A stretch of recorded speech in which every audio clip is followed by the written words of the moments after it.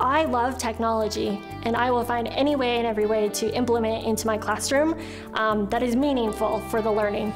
All right, go to the next slide. You should be on slide number three. Blended learning is really about taking technology and um, using it as kind of the, as the foundation for the curriculums. You should just have a red bar. Nothing's gonna show up in your thing except if you have like Vivo or something like that. A lot of them, even coming into high school, hadn't used an iPad before. You know, it's just that exposure is so important for students, especially if they don't have access to it. Okay, Tristan, now do it.